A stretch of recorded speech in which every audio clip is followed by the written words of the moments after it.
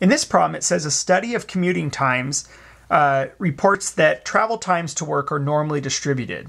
Here are the travel times in minutes of 10 random commuters. Now, one thing we don't have here is a standard deviation. We have data, but we don't know the population standard deviation. So this is an instance where we're going to want to use a t-interval. So if we go to the cal calculator and we go over to test and down to t-interval, you have two options. You can input statistics, so we'd need a sample mean, we'd need a sample standard deviation and the sample size, or you can input the data directly, and that's the option I'm going to use.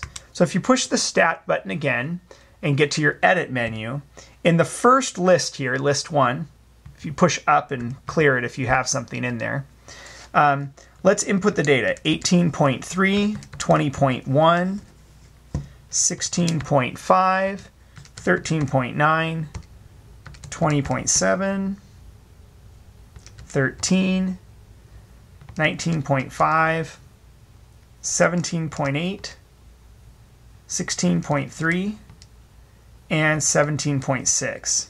So there's our 10 pieces of data. Now we could do one var statistics on this, and it would actually tell us all the stuff we need to input. There's our sample mean, there's our sample standard deviation.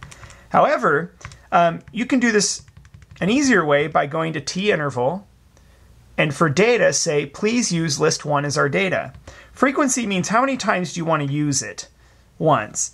Um, and the confidence level we want is a 90% confidence level. When we click calculate, it actually takes the calculator a brief time to think of all this stuff.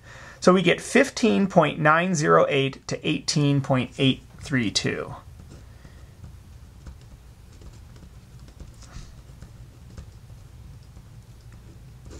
And it also reports the other important information. There's where our um, confidence interval is centered, and here's our sample standard deviation.